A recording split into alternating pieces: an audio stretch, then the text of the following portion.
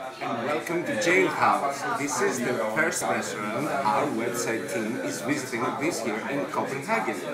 We already have our table ready and Victor is filming what I'm about to say. The first thing that we got already in our table was a sparkling wine with fruit flavor which was already in the glass.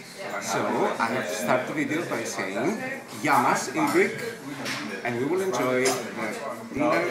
My name is Niels. I am the general manager at Jailhouse CPH. As a starter, you are having uh, our famous Jailhouse tomato soup uh, with a bit of fresh uh, basil and homemade bread.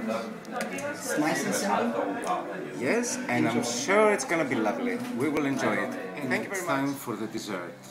The dinner is over, and we have given uh, a nice strawberry mousse with um, I don't remember what he said. It was with whipped cream and and basil in, in, uh, on it. I have to try it and tell you it's amazing. Mm. It's almost like ice cream with yogurt. But anyway, our time in Jailhouse Restaurant Copenhagen just ended. We're about to go to the semi-final one of Eurovision Song Contest 2014. But first, we will have a cigarette. See you all tomorrow.